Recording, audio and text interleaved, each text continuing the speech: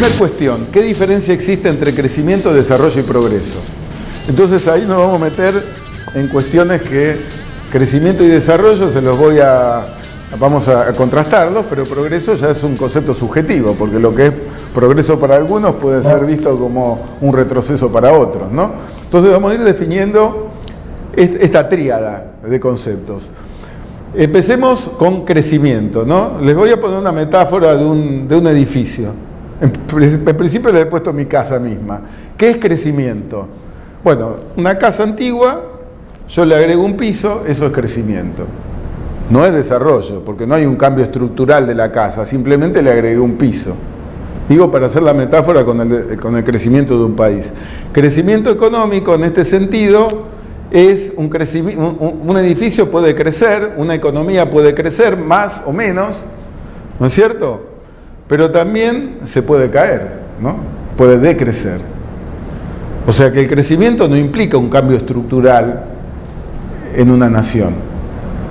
Bueno, puse el ejemplo de una vivienda porque, digamos, metafóricamente, acá estructuralmente el edificio es el mismo. Lo puedo embellecer, lo puedo renovar, le puedo agregar un piso, le puedo agregar dos pisos, pero no cambia estructuralmente.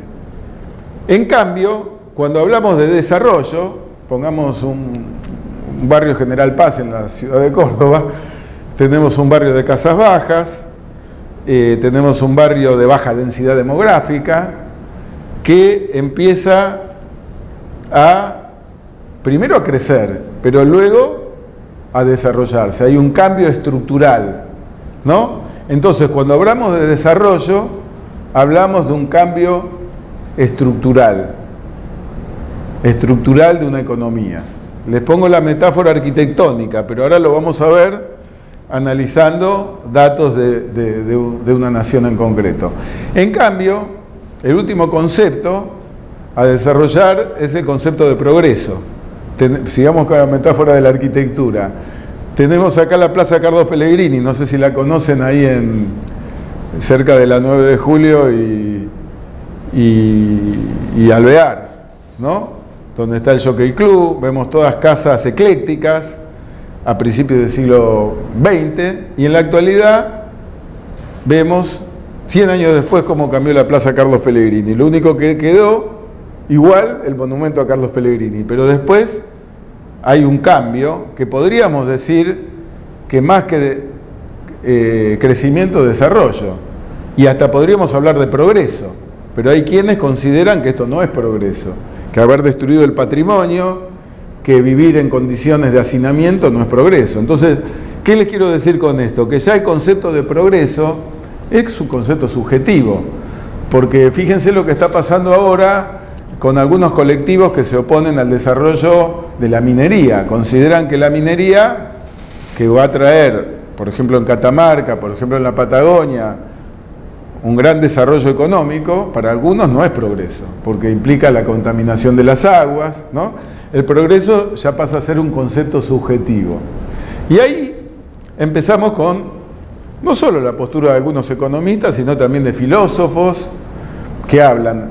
Realmente, el desarrollo siempre equivale a progreso.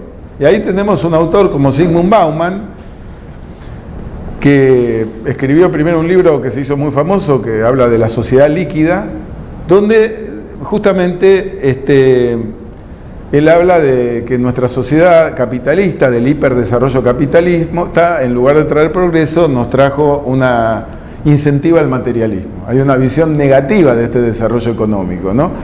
El último libro de Martín Caparrós, un escritor argentino que vive en España también, habla, nos muestra, el, libro es muy interesante, porque la última obra de Martín Caparrós, ¿de qué trata? Es una historiadora del año 2100 que hace historia del 2022 al 2024, es decir, nos cuenta en tiempo pasado lo que estamos viviendo ahora nosotros. Entonces, da muchos datos del desarrollo económico de las naciones, de la concentración de la riqueza, con una mirada crítica que dice, sí, la economía en el siglo XXI ha crecido exponencialmente, pero nos muestra las razones de por qué no considera que desarrollo es equivalente a progreso. Eh, por ejemplo, hay quienes dicen que el desarrollo de la economía produjo el aumento de las emisiones globales de carbono, por crecimiento industrial. hay quienes dicen, y ahí nos metemos ya en controversias por demás interesantes, hablan de que el calentamiento global es producto de la industria. Y ahí aparecen otras posturas muy diferentes, como por ejemplo la de los republicanos Donald Trump en Estados Unidos, que dicen que no, que el calentamiento global es un proceso que tiene que ver con ciclos muy amplios de la historia de la Tierra, ¿no? que hubo otras épocas de calentamiento y que son simplemente ciclos inmensamente extensos que no tienen que ver con el desarrollo económico. De manera tal que eh, el calentamiento global no obedece a lo que tiene que ver con la emisión, con la, con la industrialización de la tierra. Misma postura eh, tiene nuestro presidente, ¿no? Javier Milei, cosa que la administración anterior no tenía esa postura. Conocen esas polémicas, ¿no? Para la próxima clase, yo otra vez me han traído un libro, un grueso volumen que se llama Historia, Historia del Clima, Historia Mundial del Clima, donde eh, este autor de algún modo abona la tesis eh, trompiana o mileísta, porque analiza las distintas etapas de, calentamiento que tuvo y de enfriamiento que tuvo eh, la humanidad. Entonces se habla de pequeña edad de hielo, donde se habla de, cambio climático que hubo también en el Renacimiento, que en la Baja Edad Media, que implicó un aumento de la productividad agrícola. Entonces, como que el calentamiento no es producto de la emisión de carbono. Bueno, ejemplo de polémica de lo que para algunos consideran que es un progreso, el desarrollo económico, y otros lo ven como un retroceso. Entonces, síntesis de esto que les acabo de decir. Progreso entendido como un concepto ético o moral, ¿no? que depende de la escala moral con que midamos lo que es el desarrollo, eh, por ejemplo, un aumento del Producto Nacional Bruto de un país, si no hay una redistribución de la riqueza, puede ser visto no como un progreso, dirán algunos economistas, que no abonen a la teoría del derrame, de que el crecimiento económico a la larga trae un beneficio a todos los sectores de la sociedad, que aumentar la industrialización impacta también en el calentamiento global, que hay que ponerle un límite al desarrollo, y que crecer produciendo armamento, eh, produciendo cualquier tipo de producto, no representa un progreso para la humanidad. ¿no? Eh, también están las posturas ambientalistas, que con eh, la obsolescencia programada de los productos, también nos hablan del daño ambiental. Vieron en las noticias que recientemente hubo un atentado en la casa de Messi en Ibiza, lo habrán visto, ¿no? Por parte de ambientalistas porque consideran que la gente, los hiper ricos que se manejan con aviones privados, marcan un impacto en la huella de carbono con sus costumbres que disgusta a los ambientalistas. Eh, bueno, también habrán visto en el campo del arte los atentados a grandes obras de arte por parte de otros grupos ambientalistas, no verdes. En fin, eh, hay una discusión sobre qué se considera progreso económico, especialmente esto siempre sucede en las economías postindustriales, es decir, en donde hay abundancia. Se pueden hacer esos planteos, porque los países que están en vía de desarrollo lo que buscan es industrializarse, ¿no? No criticar la industria. Bueno, entonces, eh, ¿qué diferencia existe entre crecimiento, desarrollo y progreso? Nos estamos preguntando. Eh, hablamos de crecimiento, les di el ejemplo de la metáfora en arquitectura y les dije que vamos a hablar ya en términos más concretos eh, de, la economía. Crecimiento es cuánto produce un país al año y si se registra un aumento de un año a otro. Hay crecimiento y si no hay decrecimiento. El crecimiento, como les contaba, puede, puede revertir. Podemos crecer y después podemos retrotraernos. Fíjense los últimos 50 años de la Argentina. El drama de la Argentina es un caso de Harvard, ¿no? La Argentina en los últimos 50 años retrocedió la economía y en los últimos 100 años también se estancó, digamos. Mismo lo dice Javier Milei, cuestión que no, no deja de ser cierto. Hasta los años 20, esto pueden ustedes ver, no lo que diga Milei, sino los datos objetivos, ¿no? Hubo un crecimiento, la Argentina era un país, bueno, la mayoría de nuestros antepasados vinieron de Europa a, la Argentina a fin del siglo XIX y principio del siglo XX ¿Por qué se va a un país y no a otro? Porque hay crecimiento. Los salarios de un campesino, de un agricultor o de un obrero industrial a fin del siglo XIX, en la Argentina, según qué rubro, llegó a ser tres veces superior o cuatro veces superior a lo que se pagaba en Europa. Y llegamos a, pagar salarios el doble de lo que se pagaba en el otro puerto de destino del europeo, que era Nueva York. O sea que la Argentina pagaba los mejores salarios y por lo general el gran problema que tuvo la Argentina desde que nos organizamos constitucionalmente, adelante. Sí, sí. Desde que nos organizamos económicamente, aunque les parezca mentira, es la demanda insatisfecha de mano de obra calificada. Siempre hemos tenido ese problema. Incluso les podría asegurar que hasta la actualidad. ¿Qué quiere decir demanda insatisfecha de mano de obra calificada? Que, claro, no encontramos suficiente cubrir los puestos calificados, no encontramos personal. Incluso en la actualidad, lo ha dicho Agostino Roca, lo han dicho los dueños de Techín, lo han dicho eh, empresarios de nuestro país que es muy difícil encontrar recursos humanos capacitados. Pero es un problema crónico de la Argentina, ¿no?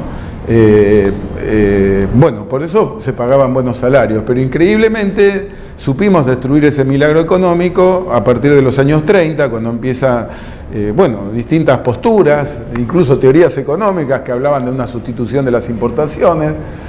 Nos cerramos económicamente al mundo, Luego hubo hasta procesos políticos que no está de más recordarlos, ¿no? Eh, en la Segunda Guerra Mundial nos pusimos del lado de, ustedes lo saben eso, ¿no? El golpe del 43, Perón y el grupo de oficiales unidos. ¿De qué lado se puso en la Segunda Guerra Mundial? ¿Del lado de los aliados o del lado de los nazis? De los nazis, muy bien. Esto está documentado, ¿eh? no es que estoy haciendo política. Entonces, le declaramos la guerra a Alemania un par de meses antes de ser vencida, después nos enojamos con los Estados Unidos y mientras que el mundo se deshacía del fascismo, nosotros entrábamos en el fascismo y ahí nos pusimos a contramano del mundo, cuestión que no ha hecho Brasil, porque Brasil participó de la Segunda Guerra Mundial, mandando incluso tropa. Nosotros nos mantuvimos primero con cierta simpatía, el golpe del 43 fue una simpatía nacionalista hacia el régimen alemán y luego mantuvimos una neutralidad. Bueno, eso nos tiene que ver con la economía. Por eso no podemos discernir cultura, historia, política de la economía, porque ahí nos pusimos en contra del mundo que estaba en desarrollo. Ahí hubo un desarrollo exponencial de países que estaban en ruinas. Veamos los datos de ingreso per cápita en Alemania en 1945 o de Japón. Yo hablo mucho de casos japonés simplemente porque mi hijo eh, es japonés, la madre también es Nikkei y hemos ido mucho a Japón uno se maravilla de ver lo que ha logrado Japón en apenas 15 años, de 1945 a 1960, un desarrollo espectacular hasta la actualidad. Ahora entró en recesión, ¿no? En fin, lo que les quiero decir es que no podemos separar la política, la cultura de la economía, ¿no? aunque quisiéramos.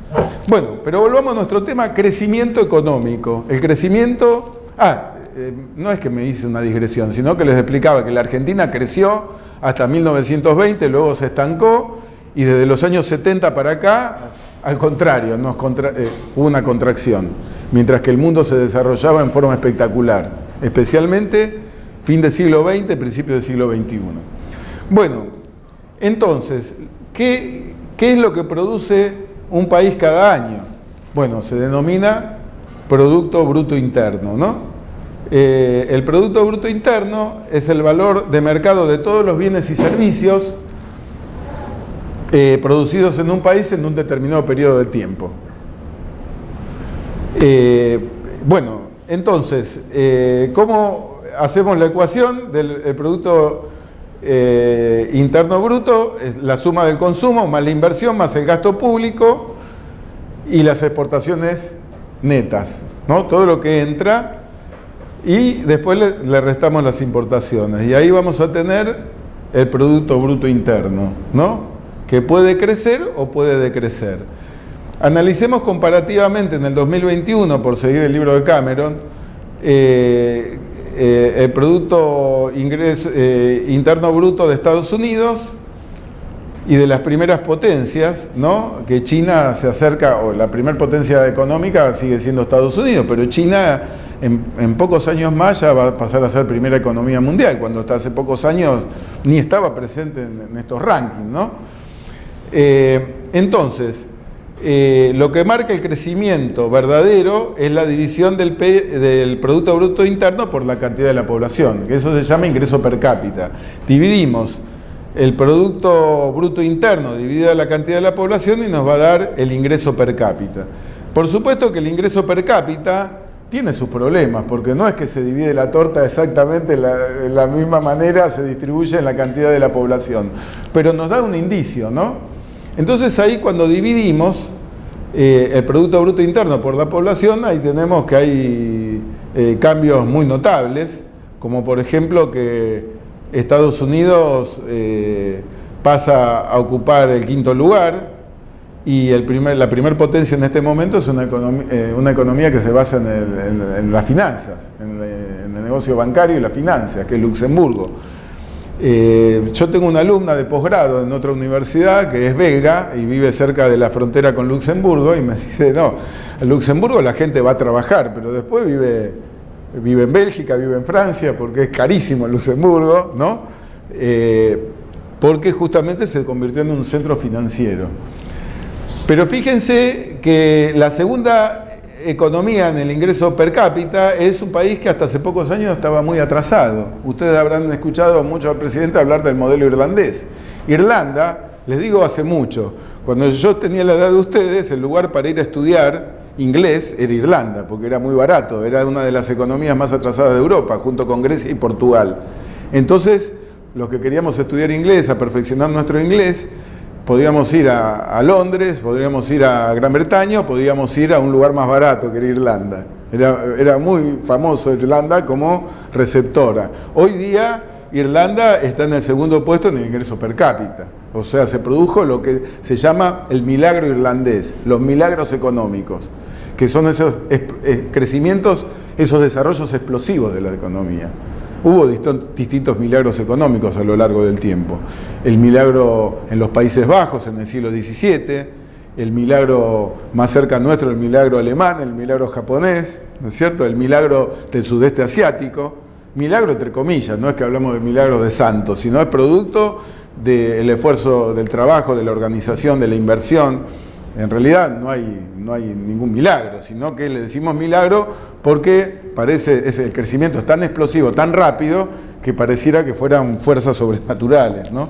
Bueno, ingreso eh, per cápita, entonces vemos cómo cuando analizamos el ingreso por habitante, China se cae, Estados Unidos baja y Argentina, que en este momento en cuanto a Producto Bruto Interno a nivel mundial ocupa el lugar número 23, que no es un lugar menor, ¿no? Eh, estar en el puesto número 23, pero a fin del siglo XIX se dice que la Argentina estaba entre las, cinco potencias mundiales y en América Latina era la primera.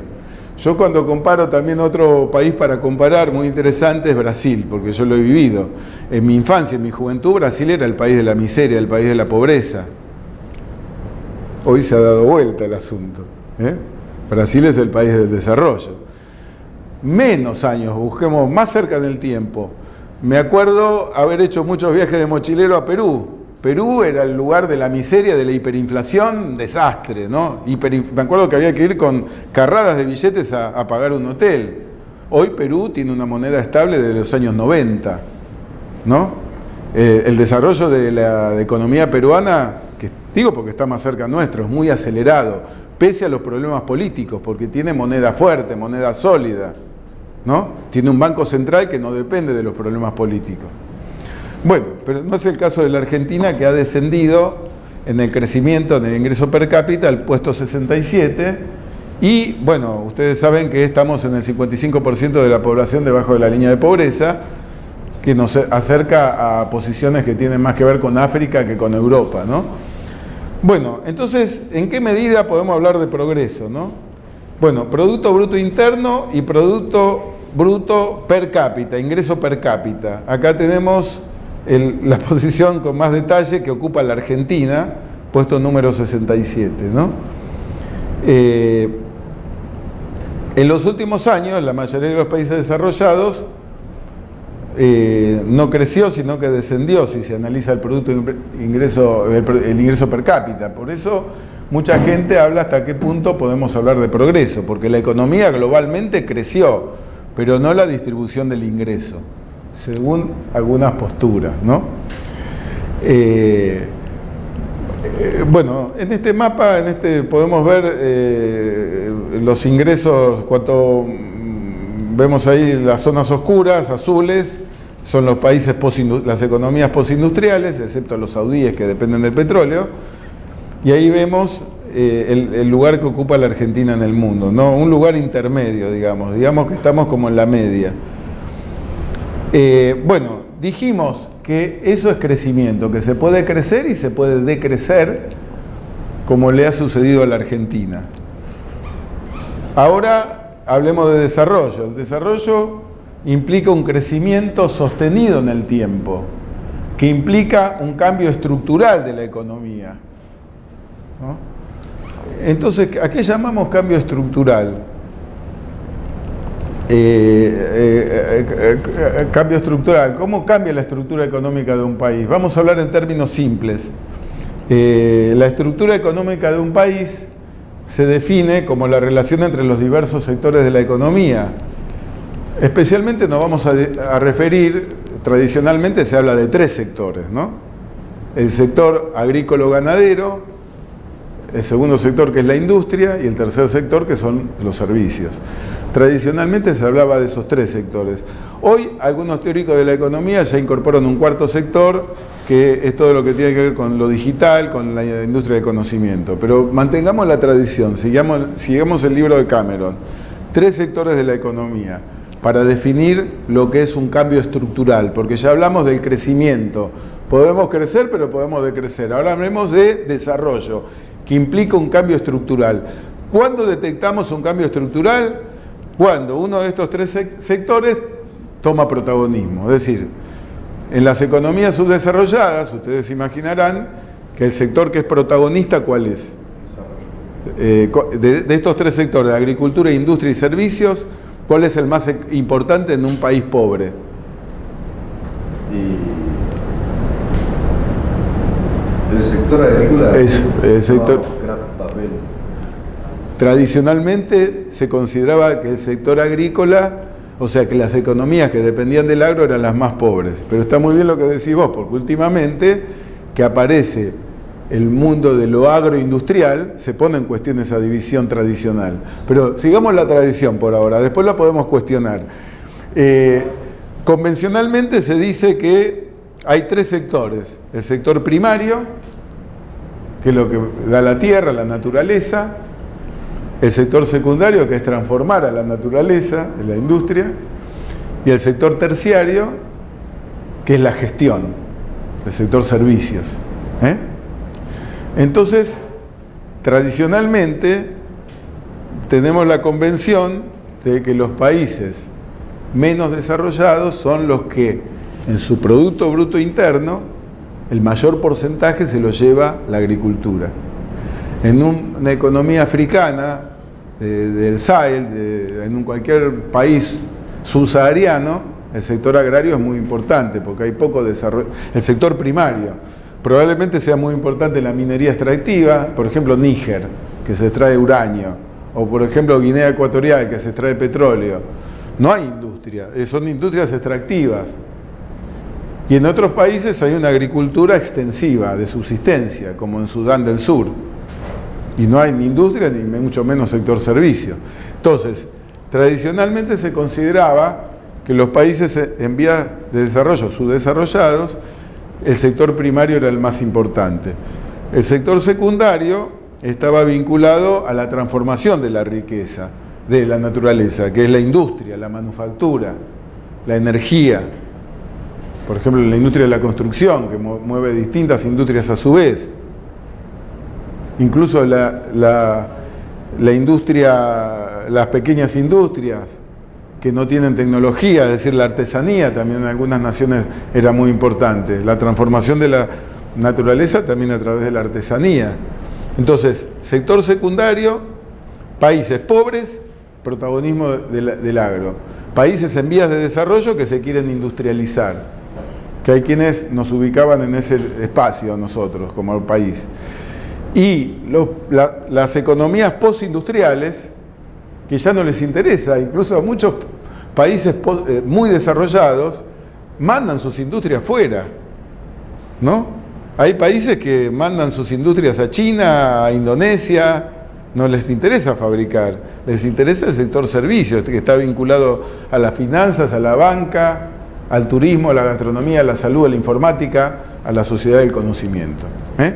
Entonces, la industria tiene, es decir, las empresas tienen su base en estas naciones, donde el sector financiero es el protagonista, pero muchas veces las plantas industriales van a, a los países en vías de desarrollo. Hasta hace poco era el caso de industrias que estaban instaladas en China y en el sudeste asiático y en Indonesia. Grandes marcas de ropa que, cuyos productos se fabrican en Bangladesh, India o Indonesia. ¿no? Eh, bueno, entonces estábamos hablando, les estoy mostrando esto de los tres sectores para ver lo que, eh, cuando hablamos de, cambio en, en lo que se llama desarrollo, eh, cuando hay un cambio estructural a raíz de un de un crecimiento sostenido en el tiempo. Eh, si hablamos, desglosamos un poco el sector terciario, también tenemos que dividir el sector terciario que tiene que ver con la administración, con los servicios, hay un sector privado que en general se vincula a las nuevas tecnologías, a la informática, a la industria del turismo, la industria de la educación también en algunos países eh, genera gran ingreso, como por ejemplo Gran Bretaña, la sanidad, el tiempo libre, especialmente en las economías donde eh, el excedente es tan grande que empieza a haber una industria del tiempo libre desde fines de los años 60, ¿no? Entonces, sector privado. Y el público también eh, conforma el sector terciario, que es la administración gubernamental, la justicia, la seguridad, la educación, que también en el ámbito público conforma el sector terciario, ¿no? Entonces, Crecimiento sostenido en el tiempo, que implica un cambio estructural, es cuando vamos a ver que la relación entre estos sectores de la economía cambia porcentualmente.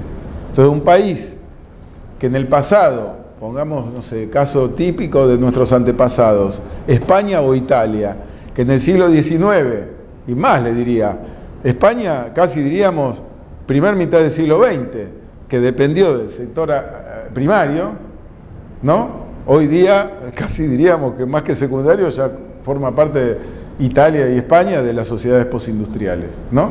Cuando en el siglo XIX, en la época que nuestros abuelos vinieron a la Argentina, eran economías casi de subsistencia, agrarias. Entonces ahí, ahí, hubo un cambio estructural, ahí hubo un desarrollo económico. ¿No? ¿Se entiende bien cómo hablo o no? Sí, sí. Bien, entonces que es muy diferente del crecimiento que se puede retrotraer. Entonces, ¿cuándo se produce un cambio estructural? Ejemplos.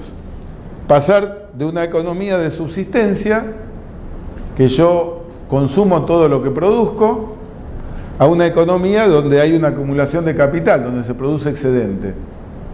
Ese excedente se puede exportar. Ese excedente marca una acumulación de la riqueza que se puede transar. Eh, economías de subsistencia en nuestro mundo hay muchas, por supuesto, la mayoría de la humanidad, según Martín Caparrós. Les voy a traer estos textos la próxima clase, no para que los tengan que leer, pero aunque sea ven los libros y podemos leer algún párrafo interesante a los efectos ilustrativos, porque si me gustaría, a mí me gustaría dejarles una huella en la carrera, en las carreras de ustedes que se vincula más a la frialdad de lo económico, eh, el enfoque de la economía desde el punto de vista también humanístico y cultural. ¿no? Entonces voy a traerles un par de textos de gran interés donde se pone en cuestión de esto de que es desarrollo, crecimiento, a pesar de que yo no soy un crítico del desarrollo y del crecimiento, muy por el contrario, a mí me parece que justamente eh, el progreso humano está en el desarrollo económico. No soy un crítico como muchos de mi ámbito humanístico que ven con malos ojos la riqueza y el progreso económico y el desarrollo económico. Pero me gustaría igual traerles las distintas posturas. Bueno, veamos em, eh, economía de subsistencia y economía con acumulación de excedente. ¿Cómo podemos producir excedente en una economía agraria. Por eso ahí se empieza a poner en discusión si un país agrario puede ser necesariamente subdesarrollado, porque si le aplicamos tecnología, este, hoy día en la Argentina y en otros países que dependen de la agricultura, como Australia, como Estados Unidos, como este, Ucrania, a pesar de que ahora está en guerra, hay una tecnología aplicada a la agricultura que, mm, diríamos que hasta la industria del conocimiento, la informática, el desarrollo, el software, está aplicado a la agricultura, por lo cual hay crecimientos exponenciales que ponen en cuestión esto que decíamos que la agricultura está directamente relacionada con los países pobres. Eh, nosotros tenemos una zona que es la zona núcleo de, de producción agrícola en nuestro país, que realmente eh, la calidad de vida, el ingreso per cápita es asombroso, ¿no? Entonces ahí ponemos en cuestión esa división tripartita tradicional que lo agrario siempre, eh, el protagonismo de lo agrícola es, retraso. Es más, es una polémica que en Argentina, me permito hacer un paréntesis, fue muy fuerte. Nosotros hemos tenido gobiernos que consideraban que eh, el agro, la sociedad rural y todas las entidades vinculadas al agro era el enemigo del desarrollo de la Argentina. Entonces por eso se castigaba el campo con, con todo tipo de penalidades impositivas, ¿no? porque se consideraba que había que sacarla al campo para subsidiar la industria. ¿no? Eso se ha hecho en Argentina desde 1930 hasta, 1920, eh, hasta 2023, ¿no es cierto? Consideramos que la, hablemos en términos peyorativos, que se usaba mucho esto, la oligarquía terrateniente era gente muy mala que tenía campos que impedían el desarrollo industrial. Entonces hay que matarlos con impuestos al campo para utilizar esos recursos impositivos y aplicarlos subsidiando a la industria. Eso es lo que hemos venido haciendo. Entonces, eh, considerábamos que el campo era factor de retraso. Hoy hay otra mirada muy distinta que se dejó ver en la última inauguración de, de la exposición rural, que ustedes habrán visto, ¿no? Muy interesante lo que se debatió ahí. Por eso hay tantos movimientos en los años posteriores a traer el centro de de Claro, claro, claro. Hubo, bueno, esto es todo un debate actual nosotros estamos en plena transición, en pleno, cambio de modelo ahora.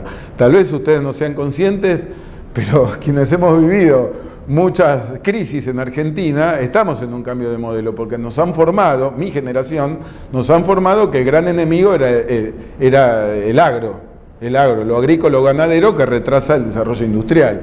Hoy sabemos que eso fue un gran error conceptual porque la industria aplicada al agro es lo que produce el desarrollo económico, especialmente en la Argentina, que ahí retrotraigamos no Saddam Smith, nuestras ventajas competitivas. ¿Cuáles son las ventajas competitivas de Argentina?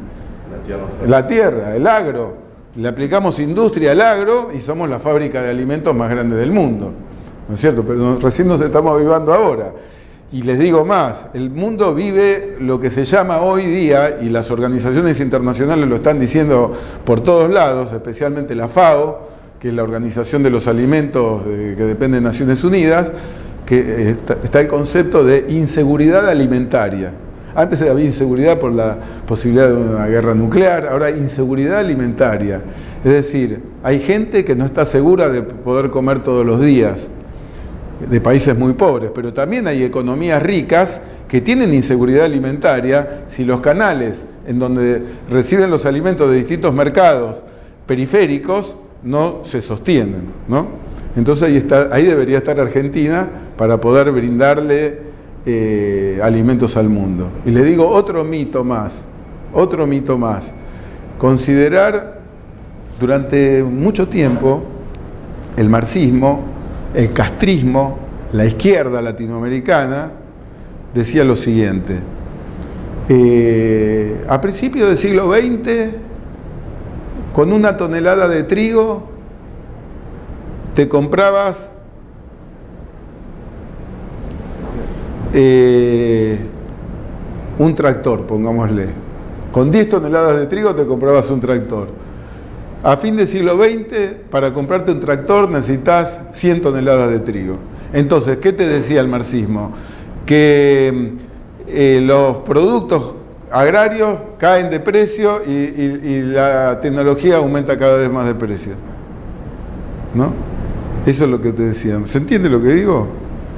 hoy vimos que es un mito, que lo que más ha aumentado en los últimos años son los commodities, que la tecnología y la industria ha caído de precio porque aumentó la productividad, aumentó la tecnología, aumentó la división del trabajo para fabricar eh, herramientas, máquinas herramientas, aparatos, eso está cayendo de precio históricamente.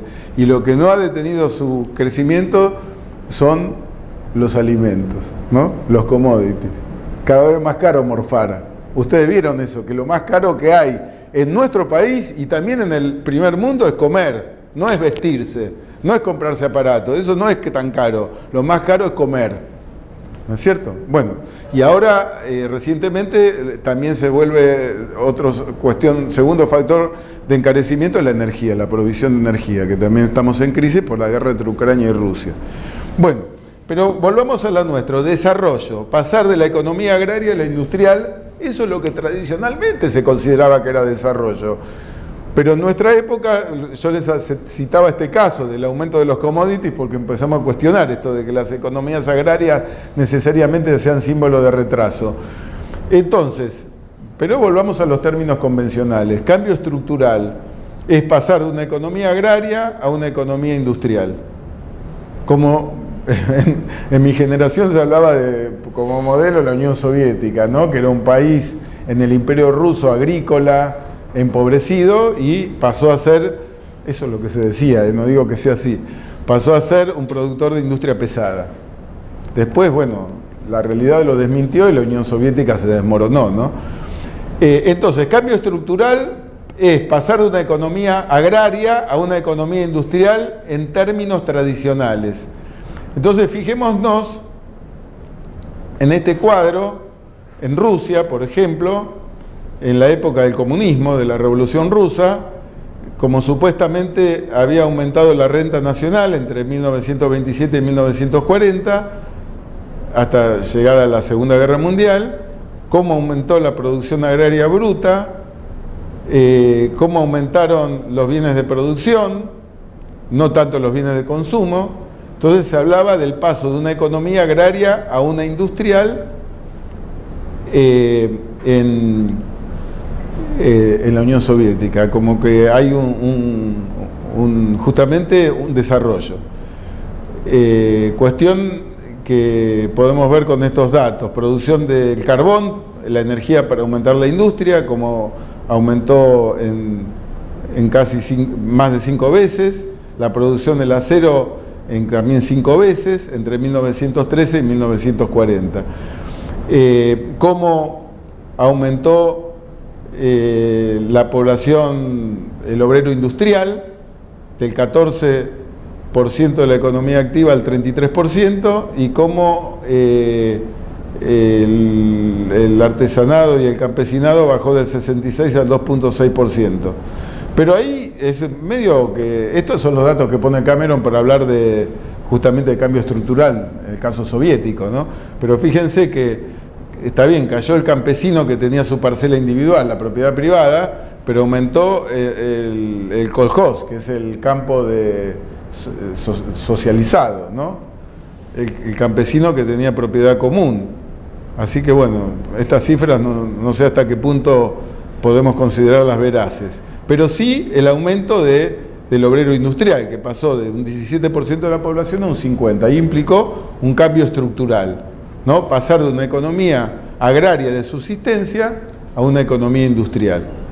Bueno, ponemos el caso de la Unión Soviética eh, y ahora vamos a poner otros casos, ¿no? Por ejemplo, vamos a ver el caso español, que es más cercano nuestro.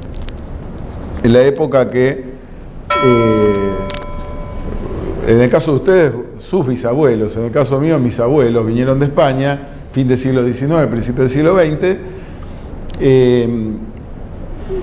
España, ahora vamos a analizar eh, cómo era la estructura económica. ¿no? Bueno, acá está la Puerta del Sol, el centro de Madrid, hace 100 años y hoy. ¿no? Y entonces, acá tenemos eh, los tres sectores en España desde 1900 hasta principios del siglo XXI. Fíjense, la línea verde es lo que les decía, es impresionante el cambio estructural en España. A principios del siglo XX, el 70% de la economía dependía de la agricultura. era el campo. Agricultura de subsistencia, no con tecnología como en el caso nuestro actual. Y prácticamente la mitad de la economía, hasta, finalizada la guerra civil y toda la primera mitad del siglo XX, dependía del agro. Eh, la industria apenas nucleaba un 15% de, de la estructura económica española. Y fíjense el sector servicio, que es lo que determina una economía postindustrial, era apenas también menos del 20% en el año 1900. Hoy día España hizo del turismo, de la gastronomía, de la hotelería una verdadera industria. Siete de cada diez habitantes en España no nacieron en España, son turistas o están de paso, son inmigrantes. El 70% de, la estructura económica depende del sector servicios, industria de conocimiento, gastronomía, hotelería, turismo, finanzas. Y la agricultura cayó de un 70% apenas un 5% de la economía. Eso es desarrollo económico, incluso en forma mucho más contundente que los números de la Unión Soviética de la primera mitad del siglo XX. Eh, bueno, acá tienen un caso de, crecimiento de desarrollo, pero acompañado de crecimiento, que implica un cambio estructural. Eh, bueno, bueno, los números que les estuve mencionando, acá los tienen ya más prolijamente determinados. y podríamos decir también que es un fenómeno que también ha vivido otras economías, como Italia, por ejemplo, también ha vivido este mismo fenómeno. Eh, menciono Italia porque también es la, principal corriente migratoria que tuvo Argentina en la misma época, fin del siglo XIX, principio del siglo XX. Entonces, volviendo al tema, desarrollo, crecimiento sostenido que implica un cambio estructural de la estructura económica de un país. Pusimos el ejemplo de la Unión Soviética y más marcadamente el de España, que pasamos de una economía de subsistencia a, a una de producción de excedente, a una acumulación de excedente, superávit pasar de una economía agraria a una industrial o bien de una industrial a, una postindustrial de servicios, o como España que hizo ese cambio tan espectacular que directamente, casi diríamos que en el siglo XX pasó de una economía agraria a una del sector servicios. Eh, bueno, entonces, ¿qué diferencia hay entre producción y productividad? ¿No? Eh, este es un concepto eh, muy interesante. Eh, cuando hablamos de producción es el proceso por el cual los factores de producción se combinan para producir bienes y servicios. ¿Cómo combinamos los factores de producción para producir más bienes y servicios? Eh, acá observamos el aumento de la producción de trigo en Argentina en la actualidad. en cambio, productividad es ver cómo con la misma parcela de terreno aumentamos el rendimiento. ¿No? No que aumentamos el terreno, vamos a aumentar la producción, pero cómo con el mismo territorio, con la misma unidad productiva, podemos aumentar la cantidad de producción. Eso es productividad. Hay países como Sudán del Sur, como Mali, Níger, que la productividad es muy baja, es economía de subsistencia apenas se produce para poder subsistir, y ni siquiera para eso, porque muchos de estos países viven de la ayuda internacional. En cambio, productividad, hablamos cuando aplicamos tecnología, hay un excedente, y entonces, como se dice mucho hoy día desde el gobierno nacional, que Argentina produce alimentos para 400 millones de habitantes, somos 40 millones y tenemos más de la mitad de la población eh, debajo de la línea de pobreza, pobreza, una paradoja, ¿no? Entonces ahí tenemos una gran productividad, ¿no?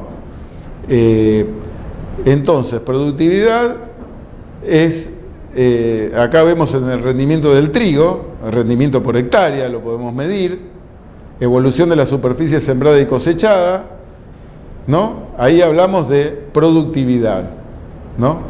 En el caso de la soja, eh, también la productividad se basa en la incorporación de tecnología, de ingeniería genética, de fertilizantes, eh, de todo tipo de, tecnología aplicada al campo que nos va a permitir mejorar los rindes. Ahí hay un aumento no solo de la producción, sino que cuando hay un aumento de la producción con los mismos factores, o sea, el terreno, el campo, pero aplicando innovaciones tecnológicas, va a haber un aumento de la productividad si la dividimos por hectárea o por operario. En el caso de la industria, dividido lo que llega a producir un operario. Eh, bueno, eh, a mí me gustaría, yo les propongo, siempre lo hago en mis clases, eh, parar unos minutos antes que el resto para que ustedes tengan ascensores, confiterías y baños libres.